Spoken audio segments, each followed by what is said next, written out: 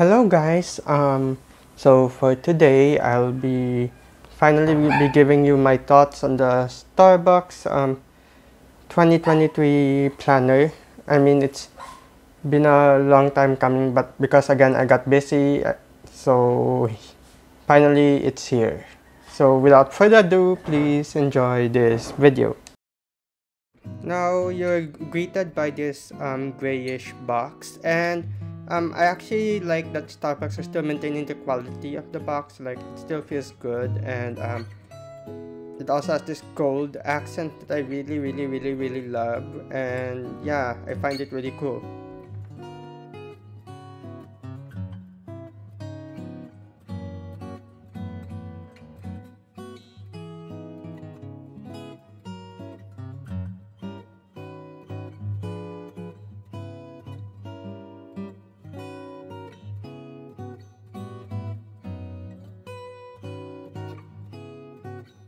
Now, opening the box reveals your 2023 Starbucks planner.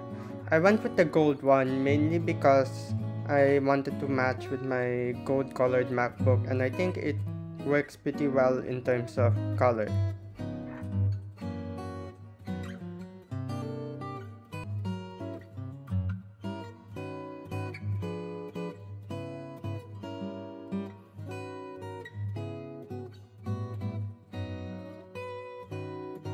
Now, opening the planner reveals um, the many storage spaces that you can choose from, from a, a document holder where you can store your passports to um, the ballpen pouch that's like slid right in between. Now the paper is not um, attached and you need to attach those separately so that's why I call it sort of unusual and it also sort of comes with a pen and once someone gives me a pen, I love that, like so, so, so, so much.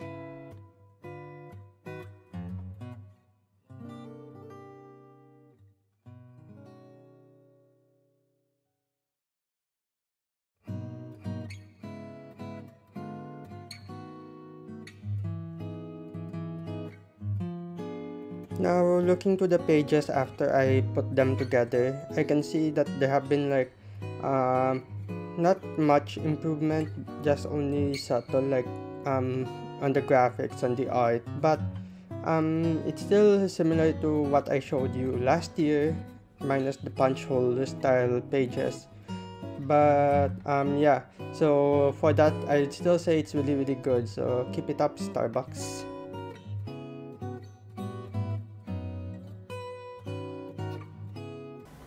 That's it for today's video.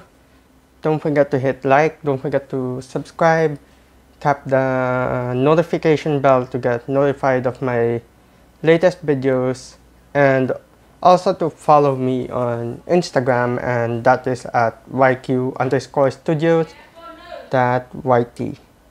And as always, stay safe, stay awesome, and have fun.